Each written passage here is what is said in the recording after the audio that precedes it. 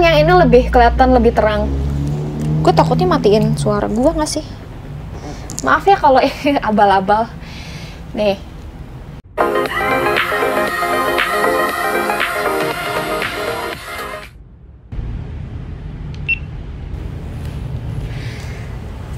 Sahabat-sahabatku yang bergadget ria, welcome back to my YouTube channel. Hari ini balik lagi di Reje.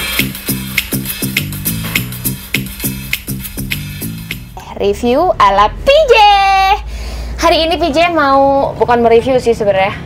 Ganti kali ya. Hari ini mau unboxing uh, gadget yang terhits di 2020 yaitu apa? Kayak kalian tahu deh. Ntar nggak licin. Tada! Masih ada tulisannya. Ini iPhone 12 Pro. Nah, PJ mau unboxing. Jadi aku mau ngajak kalian buat unboxing si HP ini. Ini pertama kalinya aku unboxing ya. Coba aku mau lihat dulu gambarnya di situ. Mbak. Nanti pokoknya aku ambil lagi detailnya sendiri ya. Karena kameranya cuma satu. Jadi ini iPhone 12 Pro 256 GB yang uh, Pacific Blue. Aku mau unboxing dari sekarang ya. Ini masih segelan. Segelan. Mana nih bukanya nih? Nah, kita buka ya. Ayo. Ini satisfy. Masih segelan guys. Omo. Salam. Kita buka ya. Aku unboxingnya gini aja lah langsung di kamera. Fokusnya ke sini dong, baby. Jangan ke muka Oe.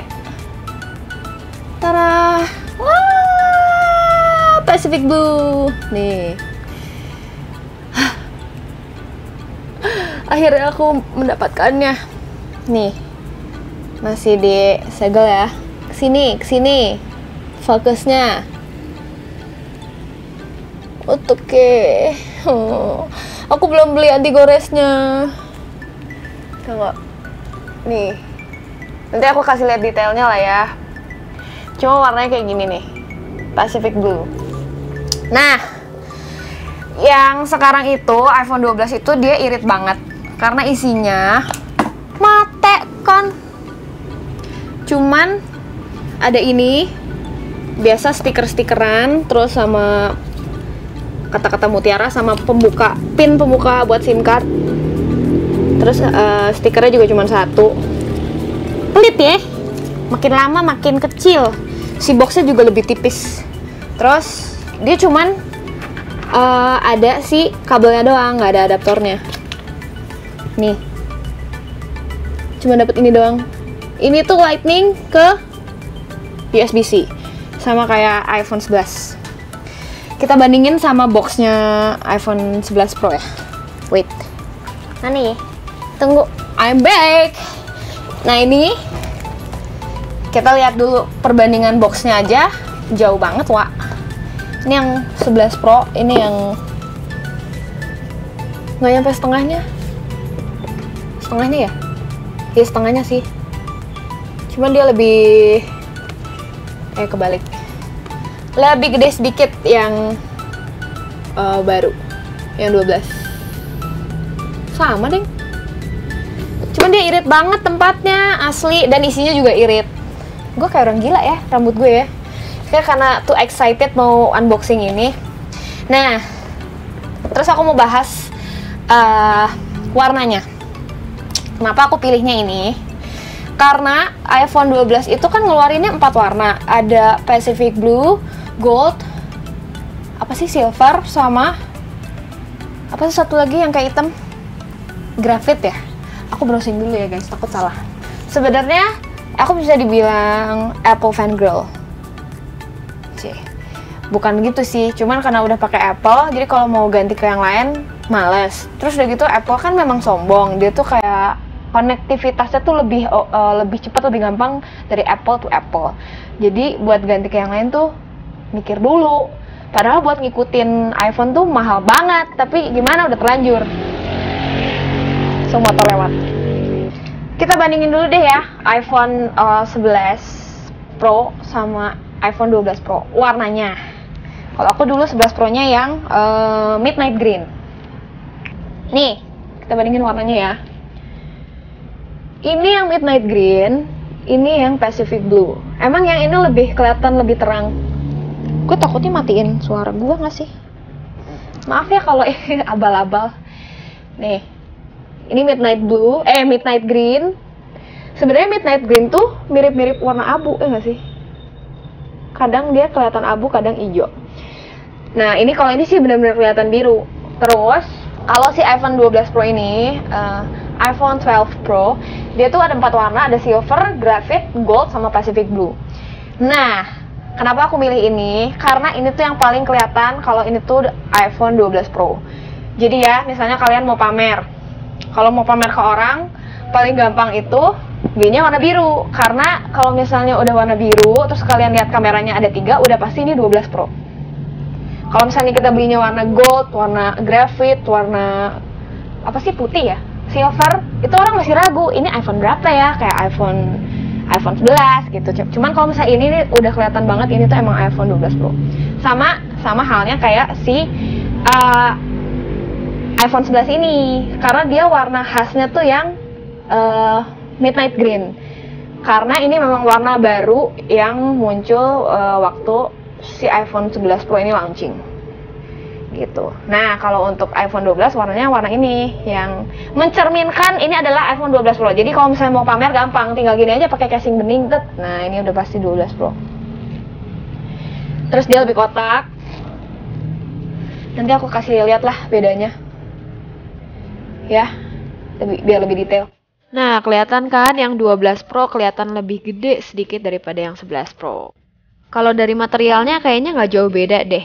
Belakangnya masih matte tapi di samping-sampingnya tuh kayak glossy gitu. Cuman kalau yang 12 Pro itu dia sisi-sisinya lebih kotak. Kalau yang 11 Pro itu kan dia lebih rounded gitu loh. Nah dia modelnya balik lagi ke iPhone yang jadul ya. iPhone 5 sama iPhone 4 kan kotak Nah, yang baru juga balik lagi ke kotak akhirnya. Nah, kalau misalnya dipegang gitu, kayaknya lebih enakan yang 11 Pro deh, karena lebih bulat daripada 12 Pro lebih kotak kaku. Udah gitu kan aku mau mindahin dari sini, dari iPhone 11 ke yang baru. Kemarin itu sempet hilang foto karena gini, uh, pertama kan kita harus backup dulu data. Kemarin itu aku cuma backup dari sini doang dari uh, ada pilihan backup di sini. Ternyata itu tuh cuman nge-backup semua settingan yang ada di handphone ini, nggak termasuk si foto-foto dan sebagainya. Karena kan foto udah di iCloud Foto, eh kalau nggak salah. Jadi sebenarnya berbeda tuh. Uh, makanya kemarin kok waktu nge-backup kayak cepet banget ya, cepet banget. Terus udah gitu nggak nggak pikir panjang, langsung gue reset factory pas gue lihat waduh banyak yang hilang fotonya cok aku sedih banget. Jadi harusnya tuh ha, emang harus hati-hati sih kalau mau mindahin data dari handphone lama ke handphone baru. Bener-bener harus precise udah di backup semua baru deh backup. Sama yang penting itu kalau aku ya kalau aku kalau PJ tuh yang penting di backup itu adalah WhatsApp. Jadi aplikasi WhatsApp itu dia punya uh, pilihan sendiri buat nge-backup chat yang ada di handphone kalian. Ya kan mending matiin deh nggak perlu gitu. Jadi pokoknya kalau PJ sendiri pertama yang di backup adalah settingan di handphone ini. Uh, terus foto sama si uh, WhatsApp. Itu paling penting. Nah sekarang aku udah ngerti caranya ngecek uh, apakah foto udah masuk semua apa belum. Kan ini kan udah udah connect ke iCloud. Kita tinggal buka iCloud kita di laptop. Apakah fotonya udah sama sama yang ada di handphone gitu loh. Kalau udah sama ya udah sih aman tinggal hapus aja tinggal factory reset. Nah ini kan udah kelihatan nih. Nanti aku kasih lihat ya. Oke kita cek foto apakah sudah sama dengan galeri kita di handphone. Gitu. Kayaknya udah oke sih. Oke oke oke. Oke udah sama. Ini kan kayak gini. Ya pokoknya inilah ya ini udah terakhir foto sama udah sa, sa udah sama sama foto terakhir di iCloud.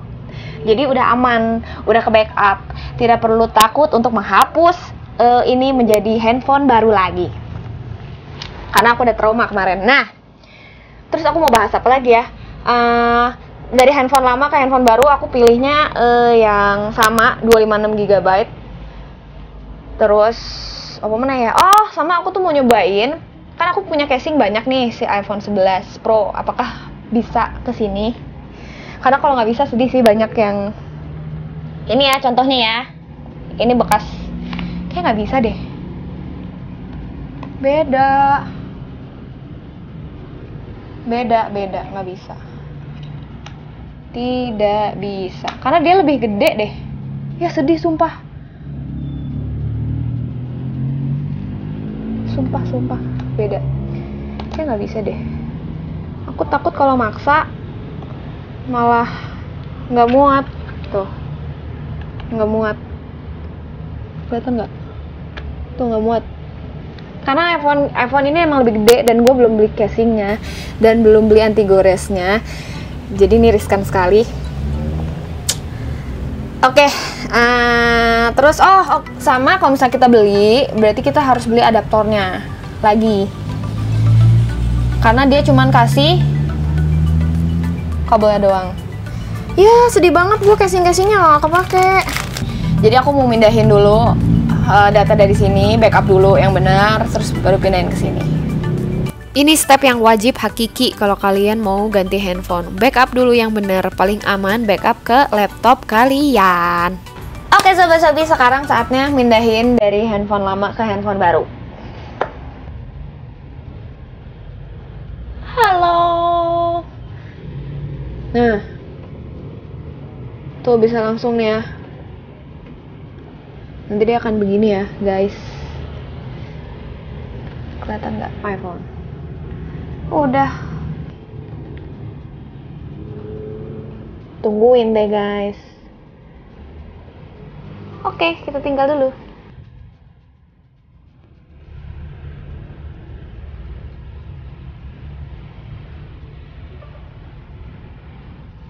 Nah, kalau ini PJ langsung pindahin datanya lewat iCloud.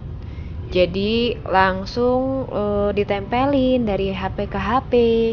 Ya sejaman lah nungguin transfer datanya karena datanya banyak banget. Nggak apa-apa. Kita tinggal mandi ya guys. Abis itu beres deh. Sabi udah beres nge-restore-nya dipindahin dari HP lama ke HP baru sampai tadi ditinggal mandi dulu. Kira-kira kayak satu jaman gitulah. Nah sekarang udah nih, tapi masih loading sih, masih ngeloading uh, apps sama yang lain-lain. Tapi di HP yang lama sebelum dihapus dia juga masih ada, masih ada, uh, masih seperti semula sih itu. Wait, wait, tuh sama tampilannya. Udah ganti. Hmm, nah kalian kalau misalnya mau jual handphone kalian apa pun keadaannya uh, bisa juga tuker tambah. Langsung aja ke loakin.id bisa banget di situ. Mau rusak mau masih bagus kalian bisa tuker tambah. Siapa tahu kalian mau tuker tambah jadi iPhone 12 ya. Aku mau nyoba nyobain foto-foto dulu pakai ini ya. Kalau gitu terima kasih sudah menyaksikan uh, Reje kali ini. Uh, ditunggu vlog-vlog PJ selanjutnya. Dan forget to like, comment, subscribe and see you on my next vlog. Ini semua casing-casing uh, udah gak kepake. Ini sedih gue padahal masih banyak yang belum gak kepake tuh segini isinya casing semua. Gimana dong? Lebih gede soalnya. Udah ya gue kayak mau tidur nih. Bye.